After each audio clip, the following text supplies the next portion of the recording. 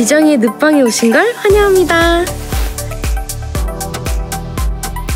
우선 눈가의 촉촉함을 준비해주세요.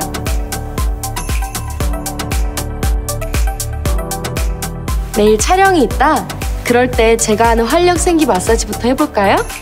눈썹에 대굴대굴 대굴대굴 눈밑을 쓱 꼬리를 위아래 위아래 피곤한 종일 촬영이 끝났을 땐 진정 마사지죠. 눈 앞뒤를 꾹쓱 꾹쓱 눈 위아래를 꾹쓱 꾹쓱 잠깐 water sleeping mask로 얼굴 전체 가실게요. 음, relax 라벤더. 음, 이제 가장 중요한 단계죠? 바로바로 짠! 그냥 자면 돼요. 여러분도 굿나잇 마사지 해보세요. 잘 자요. 라네즈